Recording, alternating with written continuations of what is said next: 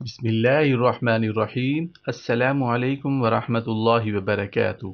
Mahira Islamic T V کی طرف سے ایک نئی ویڈیو کے ساتھ حاضر ہوں۔ ہمارے پیارے آقا حضرت محمد صلی اللہ علیہ وآلہ وسلم کے سونے کا منظر یعنی آپ صلی اللہ علیہ وآلہ وسلم کیسے سوتے تھے؟ نبی صلی اللہ علیہ وآلہ وسلم جب سونے کا ارادہ فرماتے تو اپنا دایاں ہاتھ اپنے رخسار یا سر کے نیچے رکھتے اور یہ دعا پڑھتے۔ بسم اللہ الرحمن الرحیم۔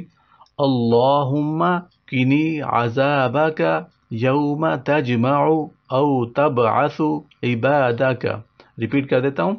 اللہم کنی عذابک یوم تجمع او تبعث عبادک۔